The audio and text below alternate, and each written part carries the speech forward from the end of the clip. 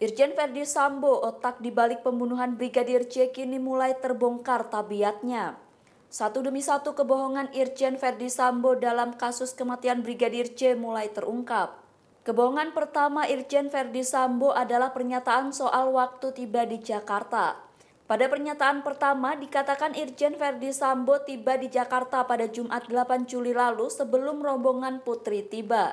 Namun terungkap fakta bahwa Irjen Verdi Sambo sudah berada di lokasi sehari sebelum pembunuhan terjadi yakni tanggal 7 Juli. Kemudian Sambo sempat mengatakan bahwa saat kejadian dirinya tidak berada di lokasi karena sedang menjalani tes PCR. Sementara belakangan terungkap bahwa dirinya ada di TKP ketika penembakan terjadi dan justru dirinya lah yang memerintah Baradae untuk menembak Brigadir C. Kemudian sempat muncul kabar adanya baku tembak saat peristiwa terjadi. Namun dalam fakta sebenarnya tidak ada baku tembak di rumah Irjen Verdi Sambo. Irjen Verdi Sambo juga disebut berperan dalam pengambilan CCTV di TKP pembunuhan Brigadir C. Hal itu disampaikan oleh Kadif Humas Polri Irjen Dedi Prasetyo. Selain itu, Irjen Verdi Sambo juga berbohong terkait motif dugaan pelecehan yang dilakukan Brigadir C. Namun dugaan pelecehan tersebut tidak benar adanya.